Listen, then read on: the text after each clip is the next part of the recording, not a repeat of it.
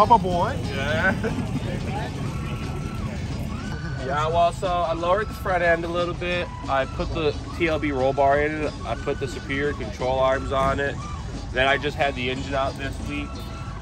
I Oh, you just did. Oh. Uh, I just repainted and resealed it. I put a 74 spring shroud on it. Just 1915 single 44 Weber.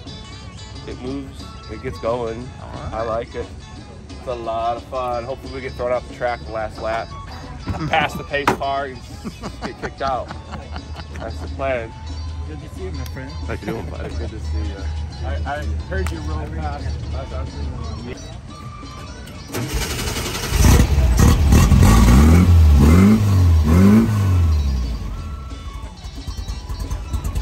Maybe a little more than 40 horses now. Joaquin's gonna want to take yours for a spin. That's fine. Got the Motorola.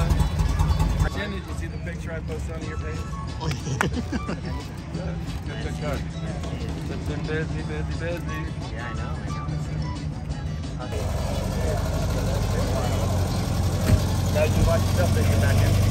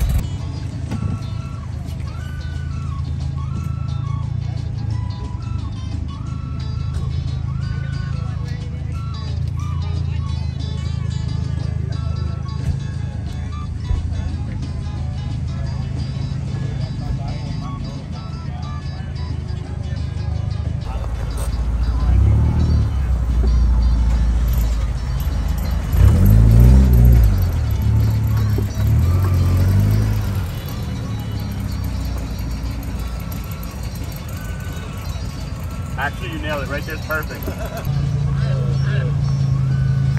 You're still crooked. Cut the wheel this way. Other way. Okay.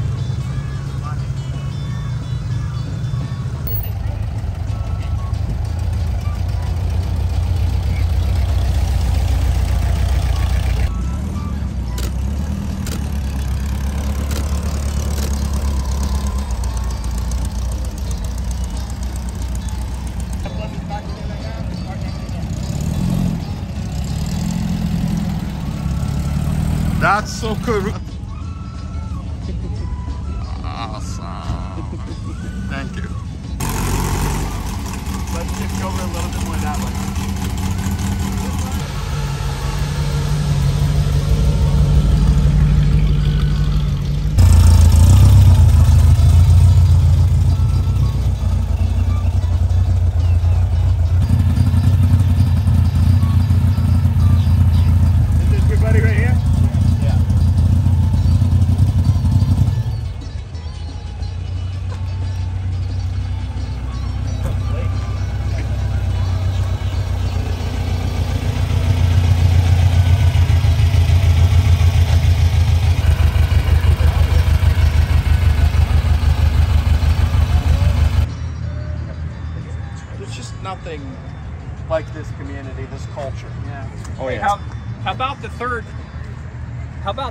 Brake light? Oh, is it? Yeah. This is this actually lights up to the third brake light. Oh, really? Yeah, that's When you, cool. when you hit the brakes, that comes on. Well, the car's a 40 horse. It's been big board.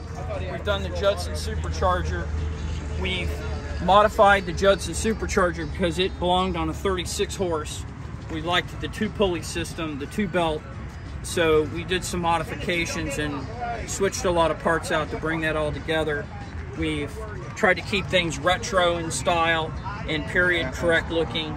So the air breather is actually a Fram oil filter that's been seriously modified in order to be the air breather. You've got the Marvel Mr. Oiler, Judson Magneto.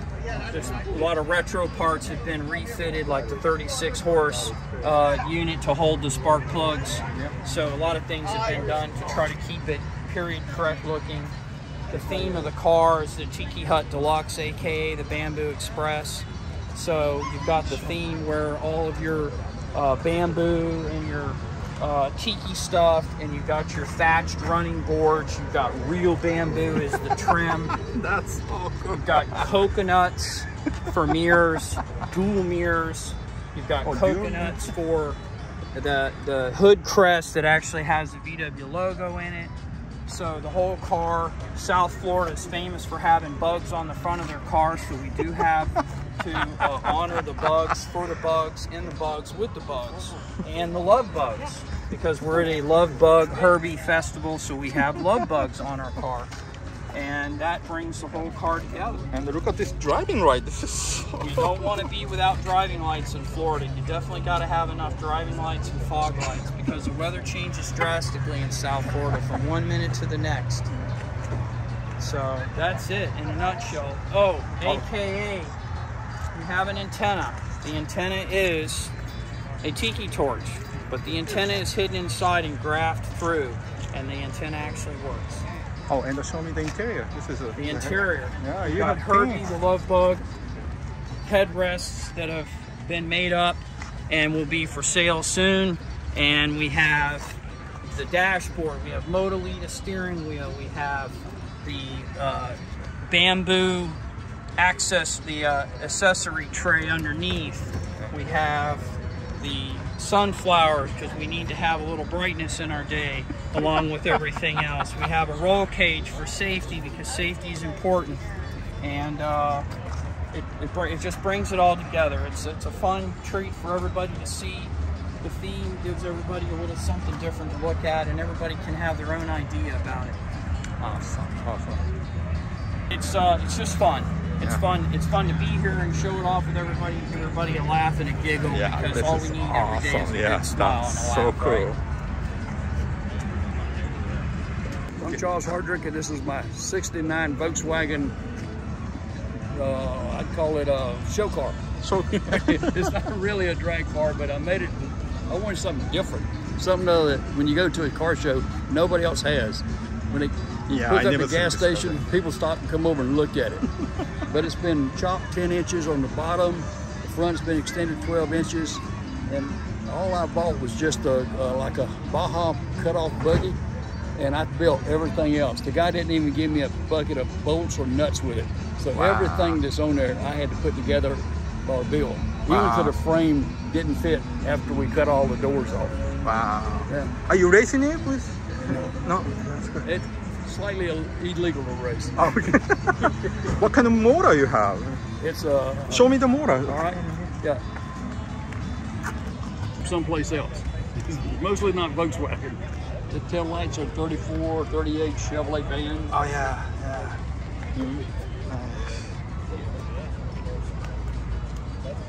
2110, all bored out with a turbo on it. Uh, and Ah, just for looks, there's a nitrogen bottle inside. Oh, and about everything in there. The hoses came off of a clothes dryer. Wow. The, the dash panel is come off. It's an Apple wrench. The pipe that goes for the steering wheel come out from underneath the kitchen sink. And the tail here, that come off of a, uh, a 1939 uh, Ford. That's the fender brace. The tire goes through it sideways. And I was just wanting something to hang the third light on. But this was a project. I retired. I didn't, and I wanted to do. I just loved the smell of grinding, torches, and all that kind of stuff. So I built it. Oh, look at the uh, valve cover. That's the that's a big block Chevrolet valve cover. That's cool. Yeah, So it runs Wow. between 5,000 and 8,000 RPMs. wow. Wow. So it does. It's not street drivable because it at 5,000 RPM you're still out. It's just idling. So this is for the fuel cell? yeah. The louvers here came off of a boat. Oh. You know how it is, how hard it is to get the electrical panel? oh wow. There's the electrical panel. Very cool. Bug is a skull. Mm-hmm. When you look at it all the way around, it's a skull. See the ah, marks on it? Oh, yeah. But also, when you look at it, this right here has 40 skulls in it, and this has 40 skulls in it. So, and the other thing that's unique about it, the bug, his eyes follow you. They look like they're looking at you, but stand over here, they look like they're looking at me.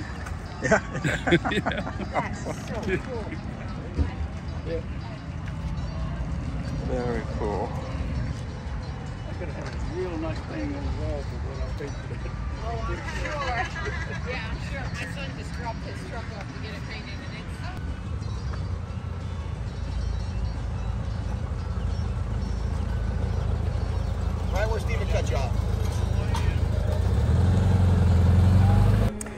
So I'm Clayton Caps from Salado, Texas. I have Junkie the movie car, but I also have this treasure, and uh, I want to share it with you really quick. So this is a 1963, and uh, this is my daily driver car. M- most people have their uh, older Volkswagen as their second car, just fun car, but I'm kind of old school and I'm stuck in the past. I drive this on average 50,000 miles a year, and uh, if I don't do 50,000, I at least do 45. My current mileage, as you can see, is 1,063,655 as of today. And uh, but the story of this car is, I bought this specific. I've been driving a Herbie since 1996. Uh, there were a few years where I would sell it, make another one, and stuff. But I I locked onto this car in 2005 because the original owner um, that had bought it years ago in '63 from Gorman McCracken Volkswagen in Longview, Texas. He, um, his name is Mr. Lee. Matter of fact, he's about to be 95 years old and he's in a nursing home. And I, sometimes I'll still drive and say, "Hey, your car is still going." He gets the biggest kick out of that. Um, but he bought the car, and this was his company car. He worked for the U.S. Department of Agriculture, and he clocked from 1963 through the late 80s. He clocked 600,000 miles on this car. So when the odometer would roll back to zeros, he would have it documented, and he has a book, and I've continued my own book about the date, the gas station I fill up at, the mileage, the octane, how many miles per gallon, anything I do to it just to keep it going. And so, yeah, so I bought this car in 2005. It was originally the L87 Pearl White, and uh, so I had uh, it re- restored. It does have the original headliner in it, 59 years old, and uh, I turned it into a Herbie. In uh, the first time, July July the third, the day before the Fourth July, 2005. So it's been a Herbie since July 2005. And uh, but I drive this car everywhere. Um, the original 40 horse engine was uh, used up until the 70s, and then Mr. Lee actually went to a seven a 1600 cc. When I got the car, I ran the 1600 for a while, and then I went through this thing where I wanted to be a 40 horse again, so I put a 40 horse back in it. I sold the 1600 to get money for the 40 horse. And then I drove the 40 horse for a while, and then for two years I had a 36 horse in this thing. I drove it just to do it. and uh, then after that, I went to a 1600 dual port, which is what it has now. Um, this is a little bit unique engine. It's still it's still stock from the factory, uh, but this is the engine out of this is from a 2004 Mexico Beetle, and uh, yeah, and they were um, from 1993 through 2004, which was the last model worldwide. Uh, they actually did fuel inject it, but uh, so instead of a instead of a carburetor, it's got the throttle body and and electronic coil. Distributor's advanced by the computer. It's got an. I did want the stock sound and the stock look of a muffler because all fuel injections have a one tip and a catalytic converter. Since this is a 63, I, I technically don't have to have a catalytic converter for that year model. So I put an oxygen sensor on the stock muffler. That way, it still has a stock sound and everything. But but even though it's fuel injection, it's still a dual port 1600. It's not a not a big engine. It's just but this is a factory engine, and I've I've currently got 186,000 miles on this engine. And it's got it's got it's starting to sweat oil and stuff. And and uh, when I hit 200,000, I'll probably go ahead and refresh the engine, do a valve job and a rebuild.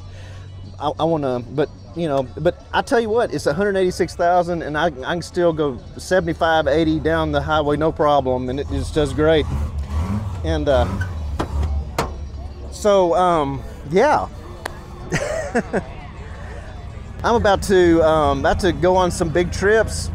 Um, I, I drove to Florida for this trip, and uh, the first weekend of May, here in about a month, I'm going to be driving from Texas up to Wisconsin to go play in a music event, and then I'm going on a huge trip uh, the end of May, and May 27th. I'm going to leave and go on like a 6,500 mile trip, leaving Texas, going to go up to Colorado, um, camp out at Yellowstone National Park, go to Glacier Bay, in Montana, up to Washington State, do the Olympic Peninsula, drive down the uh, 101 California coast, see some friends and other Herbie friends in Burbank, California, and and then go to San Diego, Las Vegas, Grand Canyon, and back home. So, and everybody everywhere I go, they says. You drove all the way in that? And I said, Well, why not? You know, and they say, Well, aren't you afraid you're going to break down? And I said, You know, the thing about I would be more afraid to, that I would break down in a car that is just kind of stored in a garage and not driven much. But when you drive a car all the time, you eventually get to what, whatever's going to fail is going to fail. And if you fix it right and don't rig it, but you know, fix it right. Um, th- these are bulletproof. They really are. And and do I ever break down?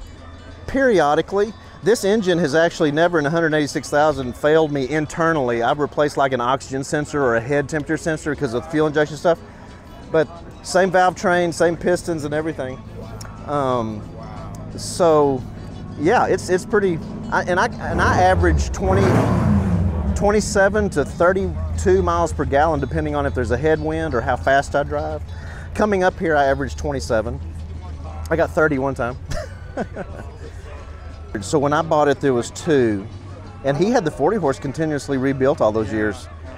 And so, and then I went. The thing is, I was I was switching motors even when the motor was running fine. I wasn't pulling it out because it was broke. So 40 horse, 1600, and then I put another 40 horse in it, a 36 horse. and- So this is the fifth motor. Wow. Only Yeah, motor. yeah, yeah, yeah, yeah. And like I said, the other motors were, you know, I just I would pull it out and sell one just to get another engine. yeah, the the key for me, and I've been driving these 32 years, is is maintenance. And and what I mean by that is if I'm on a long trip, and I've and I'm like on this summer trip, I'm gonna go 6,500 miles. Well, I I changed the oil on the trip. If uh, this specific engine does have hydraulic lifters on the valves, but but even the engine before this, when I would go on long trips, I would park in the back part of a, uh, my hotel. So I would drain the oil, and then the next morning, when the engine's cool, I'll just get out and do check my valve adjustment. If anything needs to be tweaked, I'll tweak it. So the the whole the old thing about if it's not broke, don't fix it is not for a Volkswagen. You what you do is you maintenance it to how this was built to be maintenanced, and it doesn't mean that's a negative thing. It's just it's it's a thing to keep your car alive. And I'm and this is not me patting myself on the back. It's just that all I'm doing is following Volkswagen what they said. Every 3,000 miles you check you, you know you check your valves, change your oil. You know if you're running points, which I which I actually do on some of my cars, and I used to on this before this engine uh, every 15,000 miles. I know this sounds, can points and condenser go longer? Yes. But I would go ahead and spend like $15 every 15,000 miles. I would just go ahead and change my points and condenser, lube my distributor cam, and uh, I never, I never had points strand me ever. I kept them fresh, kept them adjusted. Every 6,000 miles, I check my timing. If it's off one degree, I full advance the engine, put a timing gun on it. Even if it's one degree off, I don't say that's close enough. I, I want it exact. The other key that is, and, and I'm, this is something I kind of smile at because this is an argument amongst the Volkswagen community. But if you're running a dual port engine and you don't have these extra air louvers on the engine lid, you notice this is closed. I've driven 186,000 in this engine, and I've driven, uh, I drove over 100,000 in in a regular like carbureted dual port. I never have the engine cracked.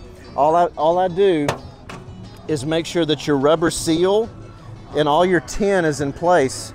And the old German mechanic I used to go to for, for 20 years told me the key to cooling these is yes, some people prop their lid open, but they but they said once you close this lid, if everything's in place at idle, you should be able to hold a napkin or a piece of paper right right here, and if that sucks to the louvers, that shows you that it's that it's forcing the the fan is creating a vacuum on the inside and, and it's forcing it to suck cool air from up here. So the extra louvers, on, Volkswagen put them there, but they're not they're not necessary. You can run them with the lid shut. And I've, dri- I've driven through Death Valley at 122 degrees. I've driven um, this past summer with over 100,000 miles on this engine. I drove uh, in 117 degrees, 75 miles an hour for three hours, and it it does not run too hot. If it if it ran too hot, I couldn't get 186,000 out of this. So it, yeah, it's, it's a testament to the design. And one more thing about the louvers is even the late even the late 70 uh, 70s cars that were convertibles. Technically, when you the convertible doesn't have these louvers, they just have the louvers down here. So Volkswagen recognized that one set of louvers is technically enough. So it's just instead of having them here, they had them here. So yeah, but uh, that's the key to the maintenance of the car. It will get you there.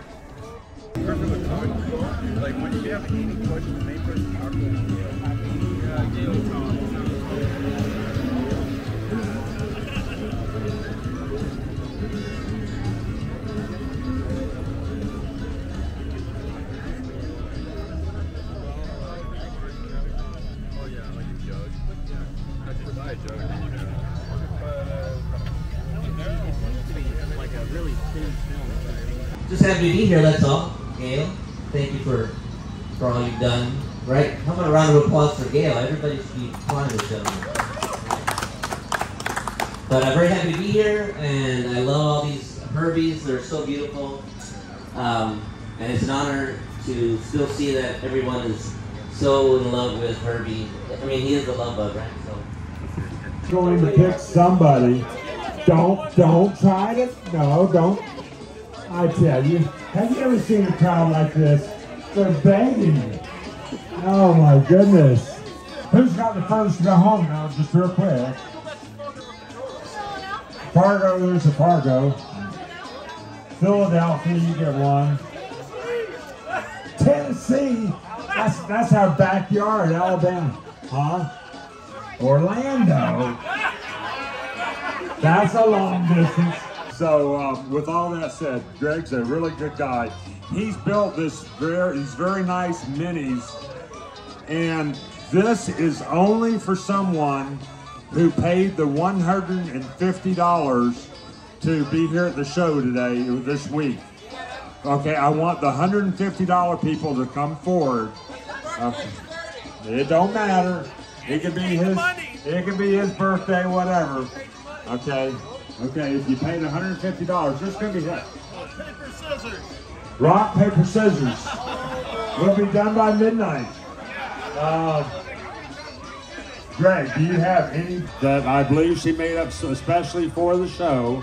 And if you're interested, please go visit her store before the, the day's over. Now.